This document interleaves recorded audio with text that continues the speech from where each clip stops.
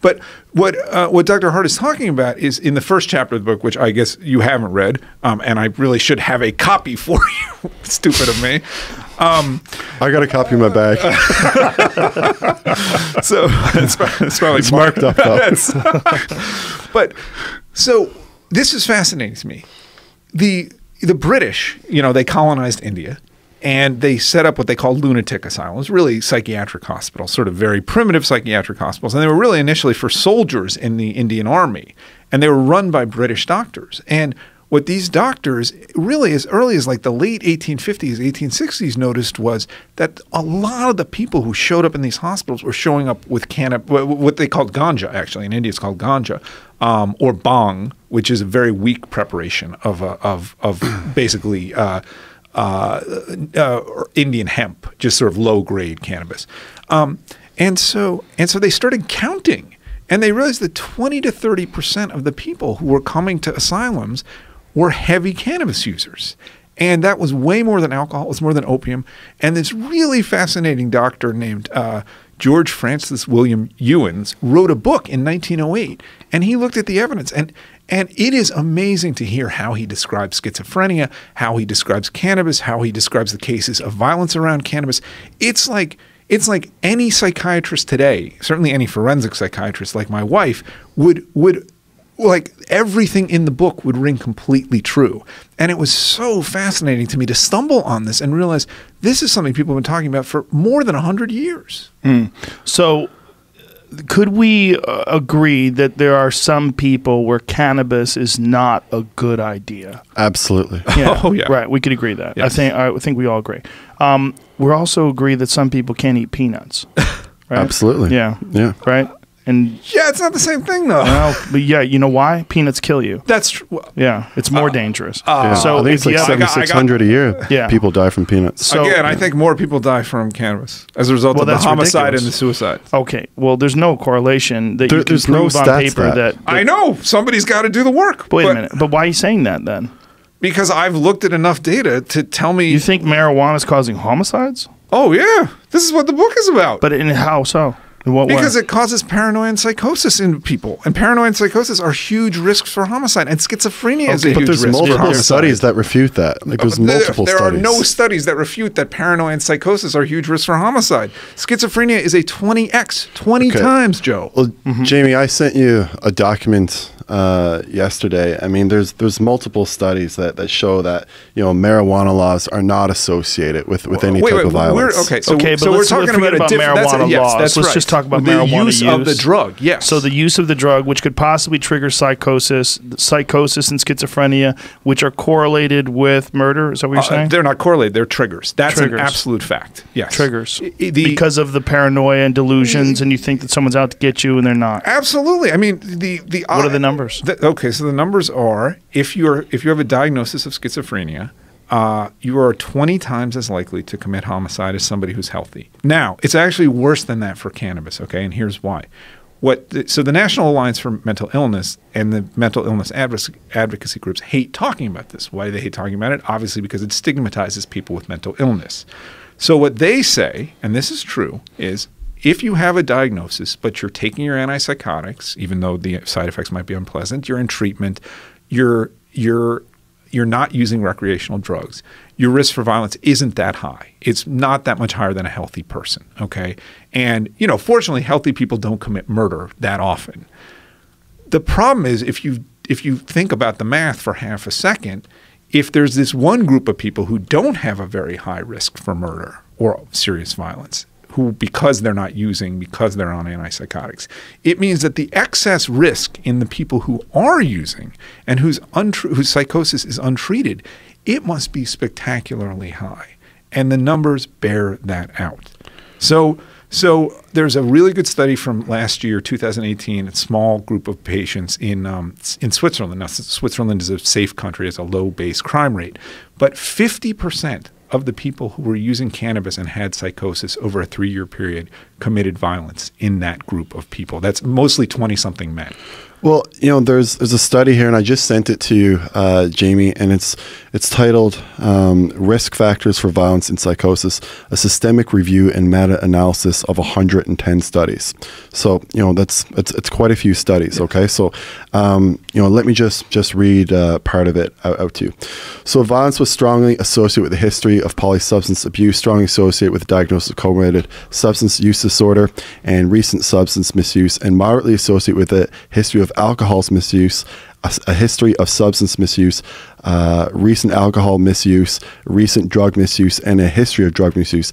It was unclear if there was an association between violence and a history of cannabis misuse. So, again, this is 110 studies. Uh, they very carefully looked at, at all of the different risk factors as to what could trigger violence. Just let me finish, Alex.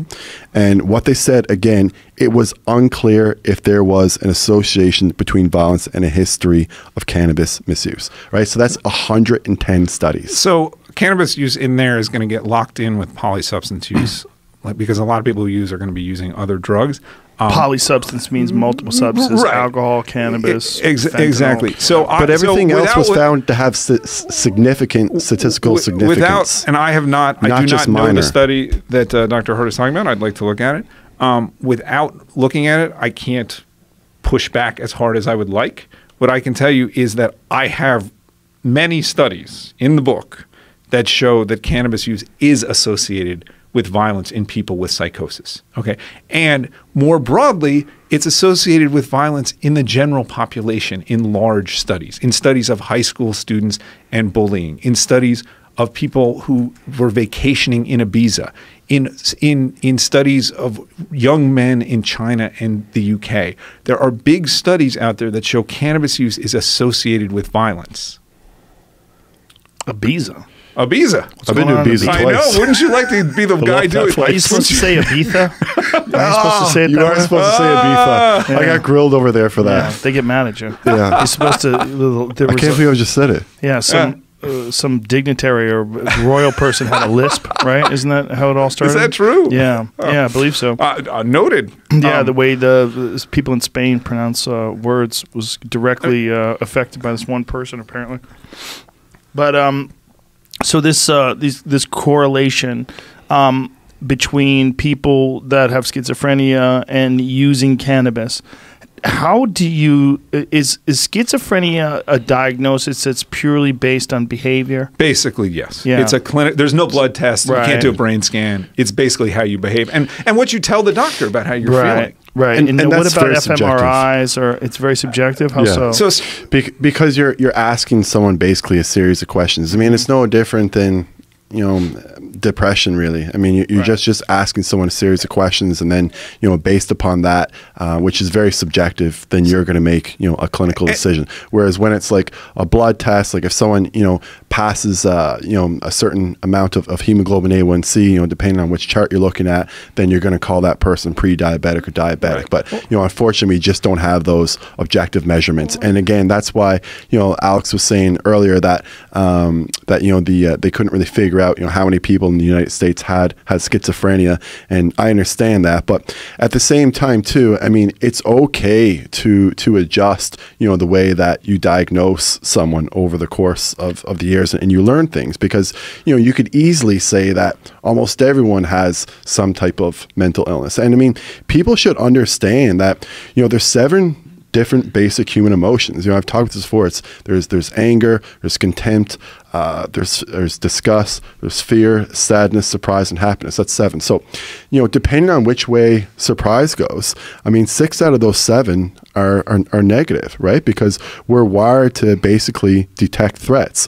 So you know, um, when, when we're, we're making, you know, the, all these diagnoses, I think we have to be careful because, you know, some people are calling themselves depressed and some people are calling themselves anxious when really, you know, they're just not dealing with basic human emotions that they need to understand and, and need to deal with. Like people are getting angry about being angry or like depressed about being depressed.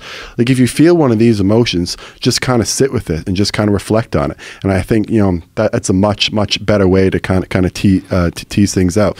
But you know, come back to to my original point, I think that you know more people are, are understanding that um, you know we don't just need to give out a pill for everything, and that you know everyone shouldn't just be labeled as having a mental health diagnosis because if things just keep you know going the way they are, you know what what's by by 2040 it's going to be like 50% of people are going to have like a mental health disorder. Right? People just need to understand that life is hard. You got to deal with these emotions sometimes. It's not that big of a deal, and that's why For some I'm- folks. I'm- and that's For why some folks, yeah for some folks, and that's And why I'm such a folks- big fan of, of Jordan Peterson because Yeah. you know he's he's he's kind of tough on people, and he said Okay, but that- let me stop you there Sure, because go ahead. Jordan Peterson was on SSRIs for years. Yeah, That's interesting. Yeah, He he was. was for a long, long time. I Yeah. mean, like for a long, long long time. As was his family. And Yeah. what's, what's crazy about him is what got him off is a carnivore diet. I know, I know, a I know. elimination diet where he Yeah. only eats meat with salt and drinks water, and he's Yeah. Healthier than he's ever been in his life. And that is a, another massively controversial subject. So, Yeah. so let me uh, push back a little Sure. bit because I think people, you know, as controversial as the book has been about about cannabis and psychosis, this violence issue is even more controversial. And Mm-hmm. obviously, for for for a fair number of people, it doesn't really. doesn't sync with the stereotype. It, it doesn't say, and it doesn't sync with how they've experienced cannabis use, right? Right. So I think I think alcohol's a really interesting uh, comparison. So, Um, blame the Canadian. Why do you have to go national on them? we, we were talking about my wife's actually from Newfoundland. Oh, okay. Um, so Right. we, Newfoundland. Newfoundland, as in Say it right. understand. Marijuana No, increases. Newfoundland is how you say it. You can't say Newfoundland. I've trained myself to say it that way. You're telling No, me I'm wrong? Newf- Newfoundland. Look what Jamie just pulled up. Um, Viol- marijuana use increases violent behavior. 50 year study finds casual link between cannabis and subsequent violent behavior. Uh, new research published uh, online in Advance of Print of the Journal Psych- uh, Psychological Medicine concludes that continued use of cannabis causes violent behavior as a direct result of changes in brain function that are caused by smoking weed over many years. Researchers have long debated a possible link between the use of marijuana and violent crime. In contrast to alcohol, meth, and many other illegal drugs, the mellowing effects of cannabis seem unsuited to promoting violent behavior. However, ample, ample previous research has linked marijuana use to increased violent behavior. The sticky problem in such studies are that many confounding factors, co-founding factors, uh, involved in interpreting this correlation. So, Uh, so keep let- going. so- There's Oh, okay. It is very difficult to determine whether or not any statistical correlation between marijuana use and violent behavior are uh, casu- causally linked, or instead the two associated, uh, or instead the two are associated through some other factors such as socioeconomic status, personality traits, or many other variables that are related to the propensity to use marijuana. um, so I, I think that's a fairly good summary That- of the, well, of, of the issues. To What's up, James? To Um, add, the study came from uh, 411 boys who were born in 1953 in London, 97% of which were Caucasian, and all of them are raised in two-parent households. So, so you know, so those people are relatively stable if they're a two family, two parent household. Unless their han- parents beat the shit out. That's also no, it's possible. But so, so let me, let- so, so, so I think the alcohol comparison is again a good one because anybody who's ever been in a bar at 9 p.m. and gone back at 2 a.m. knows that alcohol disinhibits people, Mm-hmm. right? It causes fights, right? It it makes people loud. It makes Causes a lot of fucking too. it, it does does no it really does right it's good and bad I don't know if that's good. I mean Sometimes it makes Yeah, people's I mean, life some better. people think That's- alcohol and sex are a terrible idea. Well, I, right. I mean, Right. It, it certainly causes some sexual violence. Sure, too. So, yeah, yeah. So okay, but at the same time, everybody knows that you can have a drink. At, you know, you can have a beer at the backyard barbecue. You can have Glass a of glass wine of wine at dinner. dinner. That's right. Sure. And it doesn't mean that you're going to get in a fight. And, And, it you eat- actually might enhance your conversation, eh, social eh, lubricant, eh, all that good stuff. All that good stuff. And you might even know people. I mean, I do know people who I would say have a problem with drinking, okay? But it's mostly they're sitting at home drinking scotch, watching baseball until they fall asleep that night. Now, that's obviously not a healthy way to use alcohol, but it doesn't make them violent. But we know on a population basis that alcohol causes violence. It causes drunk driving. It causes problems. And it said that in the study that, that I quoted earlier, but it's it said that alcohol again they they didn't or sorry cannabis they weren't sure. Right. So okay, but so this is uh, again. I would like to read the paper that you're quoting from because I have so much other research. But here's here's what I'm saying about cannabis. Okay, cannabis for a lot of people, yeah, they can just smoke it. And as people, you know, as many people have tweeted at me, the only thing I attacked was a bowl of nachos, right?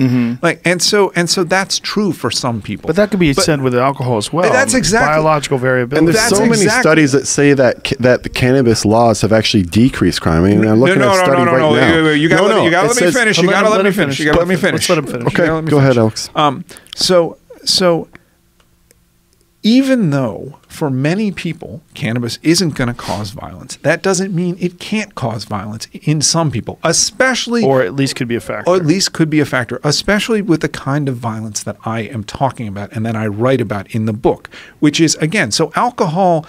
Uh, it maybe makes an argument into a brawl. It makes a brawl into something where somebody picks up a stick. It Mm-hmm. makes that into something where somebody pulls out a knife. It escalates. Right. Cannabis is different. Cannabis causes paranoia and psychosis. And it certainly causes those things temporarily, even if it doesn't cause them permanently. so a And- distortion in reality that could lead to you doing do something. te- terrible, and it's usually to somebody you're not actually fighting with. Mm-hmm. It's a family member. The, the worst cases that I've and I've really seen a lot of these cases are basically innocent family members who are just in the way when somebody loses touch with reality and literally thinks like this my 85 year old grandmother is going to kill me, so I better stab her to death first.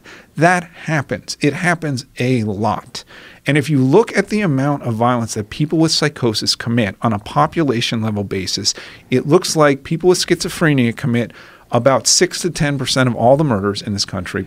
And it looks like people with sort of broader, def- more broadly defined psychosis, again, bipolar with psychosis, other psychotic conditions, temporary psychosis, they might be responsible for as much as 20% of the violent crime in the United States. That's a lot of violent crime.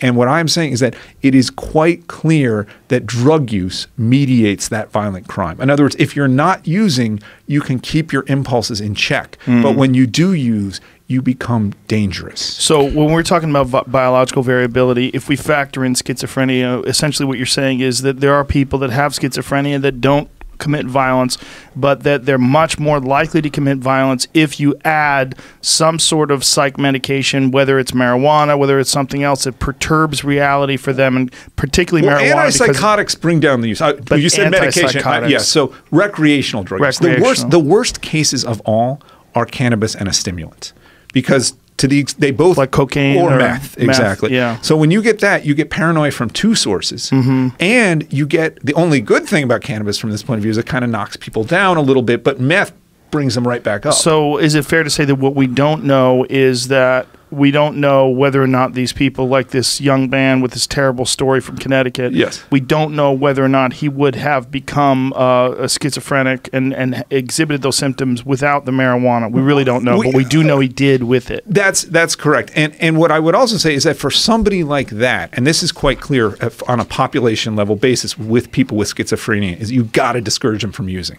Right. They really have to be discouraged Right. because it brings out the worst. Right. And and and you know somebody said this. A, a, a friend of mine, an old friend of mine from the New York Times said.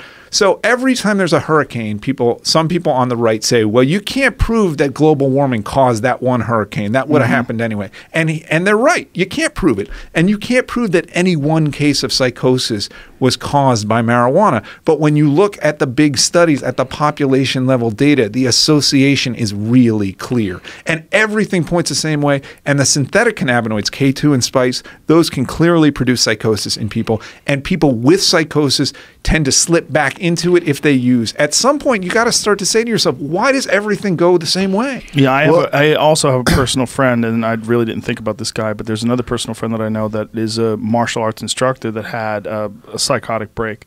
He became schizophrenic, and he's a regular marijuana user, and the people around him associated that with that. And in fact, people that are regular cannabis users were trying to get him to stop using marijuana. If, if you're I'm close to, to being Joe. on the edge and you use a little bit of, of cannabis, for sure, it Let can, me tell you something. This guy that. was not on the edge when I knew him. Yeah. Uh, when I knew him, he was very rational. Very rational. But something happened somewhere along the line. Was he? Did he become a pretty heavy smoker over time? I do not know because we don't live in the same area anymore. But he got really heavily, uh, really heavily medicated and did some really crazy shit and wound up being hospitalized. Yeah. And this was not the case before. I mean, whatever it was that triggered him. I mean, it, when I was around him when he was younger, I would have said he's a total normal guy, and I would have never th- saw that coming. He was a heavy marijuana user, heavy, heavy. But I don't, when- I don't know how he's doing now. I hope he's okay. But we're, you know, we have mutual friends Yeah. and uh, he became a schizophrenic.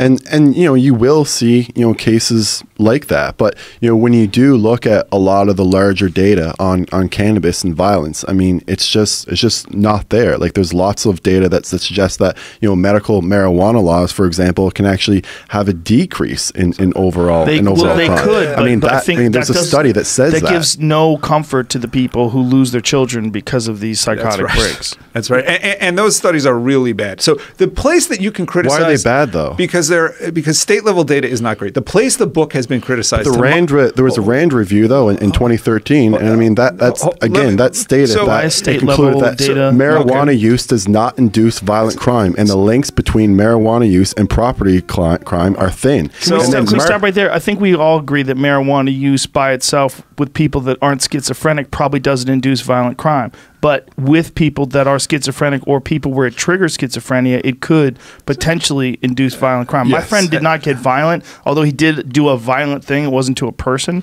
Yeah. Um, I think I think we have to be really careful because there's no just like with diet, just like with the food and you know like uh, allergies, all these different variabilities when it comes to human beings.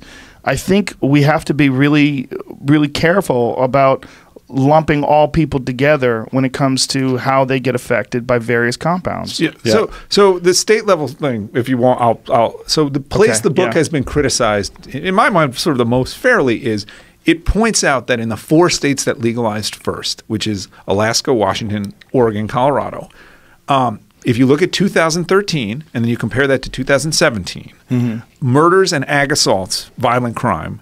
Um, are up substantially in those states and I- substantially more than in the U.S. Can I Okay, stop you there? Yes. But is there a possibility there's a correlation between organized crime? Because one of the things about selling marijuana is the people that have always been selling marijuana have been criminals.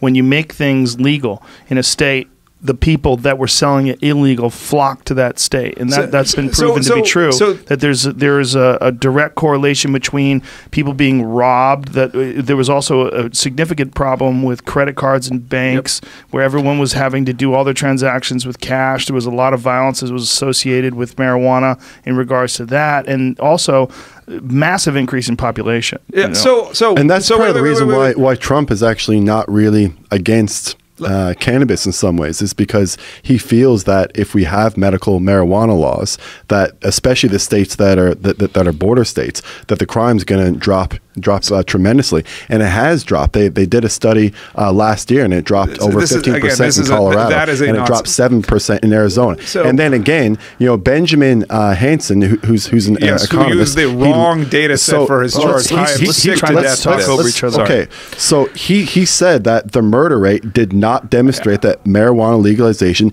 increases violence, and then it may have actually demonstrated that legalization slightly decreased violence. And he thinks that the reason that there was an increase in the murder rate, particularly in Washington, is because there is a large income gap. They say that Washington has the tenth largest income gap uh, in, in, in the United States, and But that's why- why. how did that change though? Yeah, that exactly. corresponds to the murder good, rate. Good question, Joe. Um, so I haven't, you know, I didn't get to, to speak with Benjamin uh, to, about this, That but sounds like confirmation bias.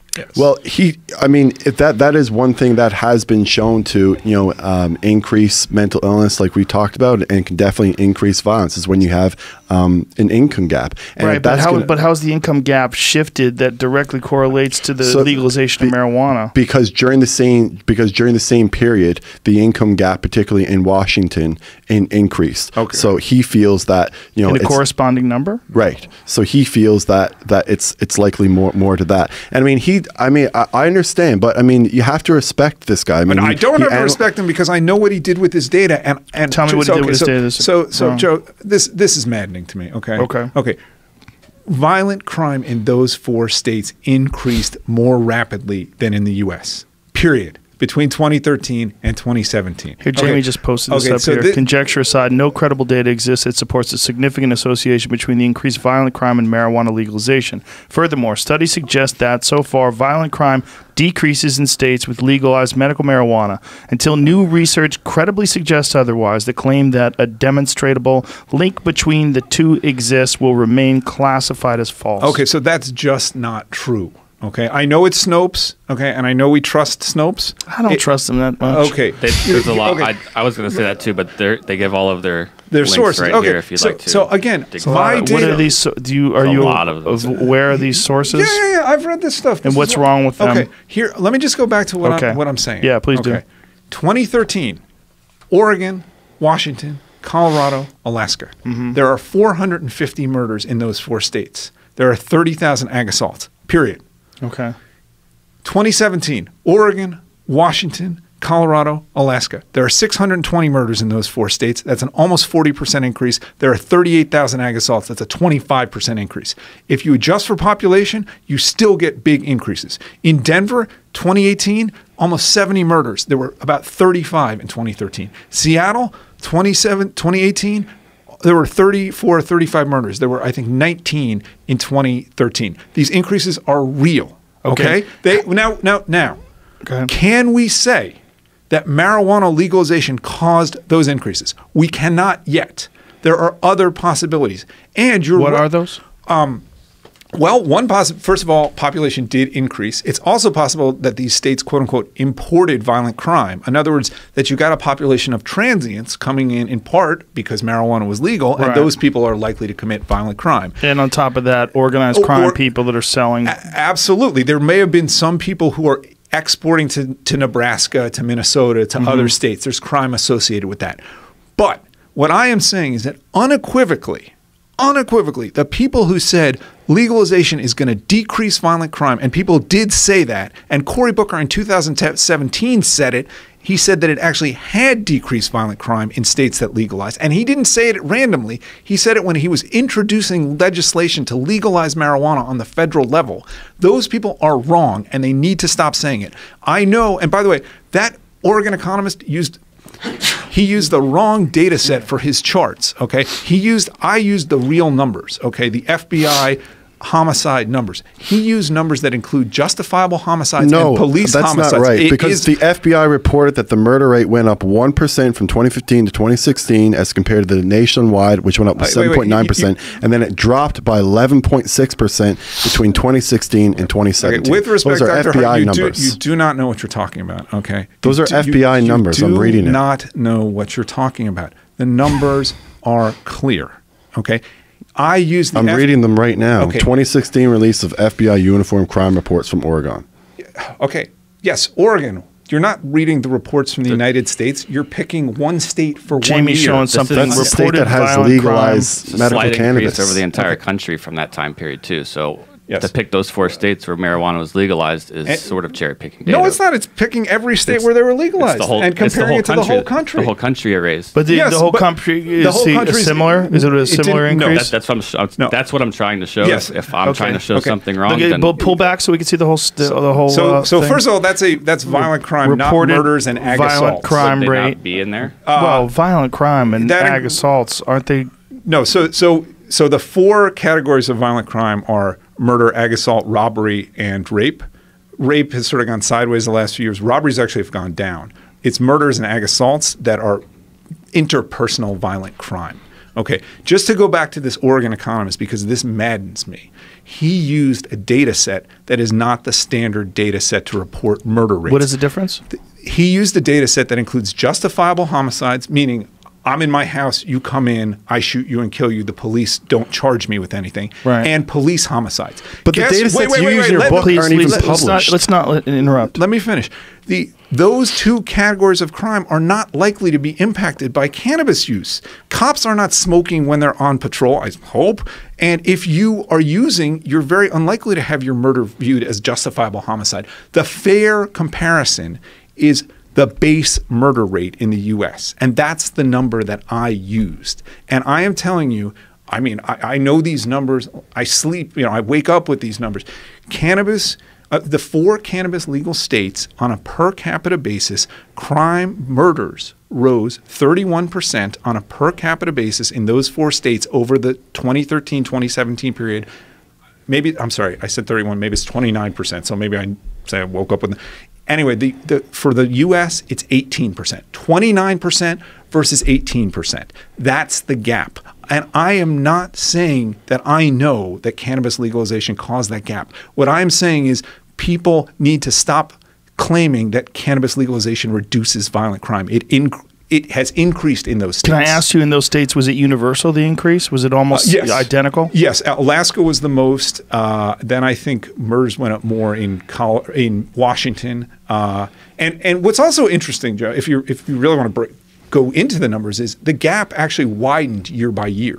So that's sort of what you would expect if this is the result of a psychomimetic effect. In other words, a mm-hmm. psychosis causing effect. Because cannabis doesn't cause psychosis right away. People break down. Right. But if it's causing heavy use and some of those people are sliding into you know paranoia and psychosis you'd sort of expect the gap to increase over time and that's what's happened Okay, so you know I'm gonna go back again to uh, the Netherlands, okay, because they've had you know cannabis legalized forever, and they have one fifth of the homicide rate that the United States does.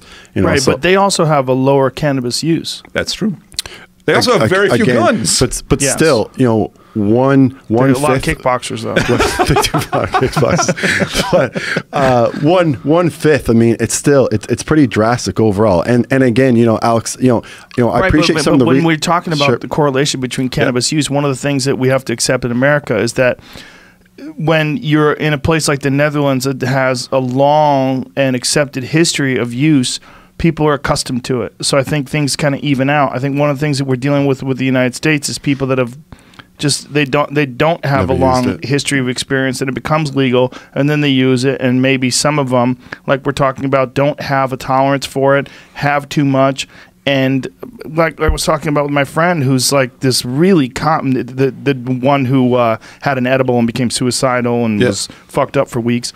Guy's very confident very articulate very intelligent.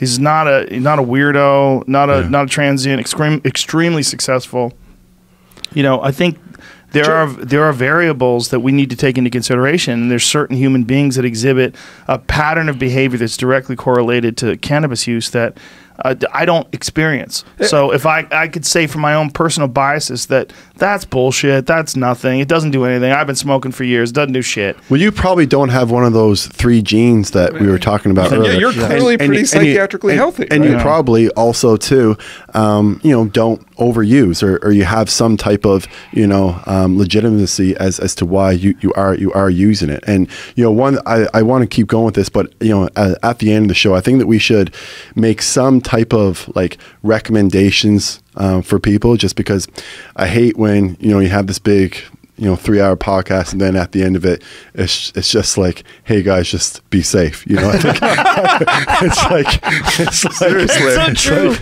it's like let's have some That's so true. have at it Good luck, like, you fucks. it's like let's have uh, Yeah. you know some type of like um, recommendations. Like I love the podcast with uh, with with with uh, Kresser and Joel, right? Mm-hmm. But um, at uh, at the end of it, it was just sort of like, hey guys, don't I eat the American diet. I think most people realize that one person was going on data and the other person was, yeah. yeah, Joe, yeah, I mean, for I, sure. will, I I find it so fascinating that now, when you think back through your, you know, through your life, you've you've thought of somebody who who was affected. I have several people. I, will bet. I'll bet as you think about it, you'll think of more people. I, I maybe, but those are the big ones. And like I said, my friend who is a martial arts instructor, it was a pretty significant issue with a lot of our friends. We were trying to figure out what was wrong with him beforehand. He was sending me these videos that didn't make any sense, and uh, I was like, "What in the fuck is this?" Like, uh, I'll, I'll explain to you more off air, so I don't have to uh, out this guy. But uh, well, well, the, all lot, a lot of people that were close to him were really seriously concerned. Now, is it something that would have happened anyway? I don't know. We don't know. How, how old was he? He's in his twenties, Late What- how- 20s? How, old exactly? late twenties, twenty. You know, That's right around the age. So, Well, it's sort but of- it it's sort of it at is the- a little a little bit late-ish. Like because like I said, Yeah. a lot of the studies, even when you look at uh, the ones on adolescents, like for sure it's it's below like they've they have done studies like below 18 is worse Yes. than say below 25 Yes. below 15 is worse than Yeah. say 18 like the younger you go um, the worse and He and it- seems to be fine now. That's good. That's good. Is Yeah. he using now? I don't know. I have to find and, out. and it's uh, you know I'm not an expert on this subject, but it's it's because of this um, of something called pruning that we go through. So everyone um, goes uh, through this, and basically through your adolescence, you're going to drop off some some weak neural connections to kind of pick up some stronger ones. You know, it's the best way to kind of explain it. Um, when you use cannabis, you can potentially accelerate that process. And then because you accelerate that process, you don't get those good neural connections. And then, you know, people unfortunately, you know, develop things like, like psychosis and, um, and, and schizophrenia. So, you know, that's kind of where, where the, where, where the issue lies. So, you know, one thing that I am, you know, very happy uh, that we're talking about, and I know Alex will be too, is that you know we want to discuss the benefits in in this podcast, make sure that people understand that you know I believe that marijuana is medicine. It's an excellent medicine, um, but the other thing though too is we do want to mitigate the risks because there are re- real risks out there. So, you know, I, I do appreciate, you know, um, us talking about adolescents and, and making sure that they do stay away from cannabis. Yeah, and espe- I mean, especially that's like I, I read these, you know, these, cases, the case files sometimes. And, you know, the, the, the kid started using when he was 11, and you know, it's like that kid never had a chance, right? I mean, and, and obviously, uh, oftentimes these are kids coming from uh, disadvantaged backgrounds anyway, but.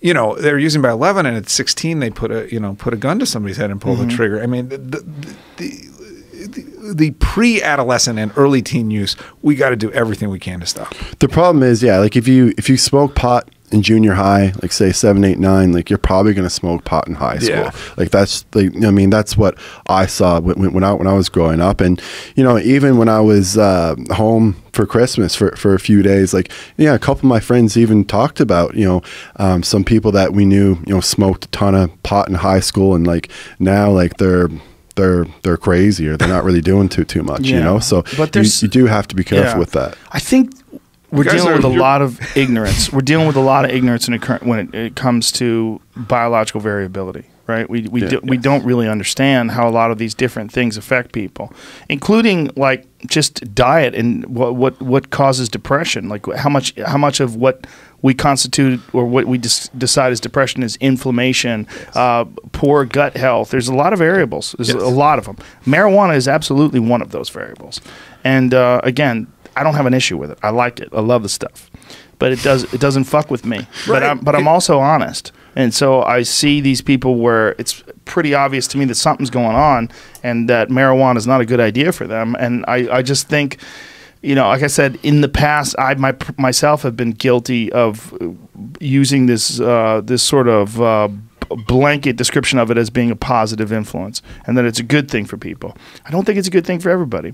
No, it's definitely not a good thing for everybody, and it's definitely not a good thing for the people who have um, th- those genetics that I, that I Yes. discussed earlier. And you know, also too, like you know, if you you need to have some type of like self awareness. Like the people who you know don't do well with cannabis, you know, you you shouldn't have you to have your friends tell you that.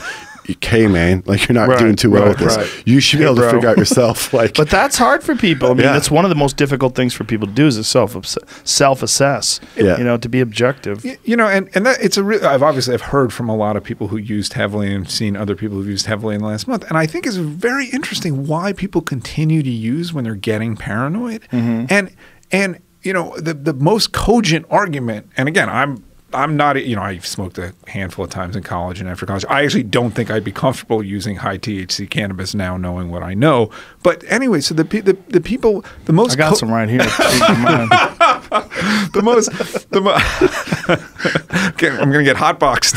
Uh, um, I'll give you the shit that put Elon on the moon. but, but but the most the most cogent argument. I thought it was so interesting. This guy said, "Well, you know, my friends, I would talk to them and say, I'm I'm paranoid now, but I'm going to smoke through it. I'm going to smoke so much that I'm almost comfortable being paranoid." And I think that's a dangerous thing to do to your mind. Because you're you're sort of counting on being able to step back from that and stop using. Yeah, that's a that's a silly uh, way of looking at it. Um,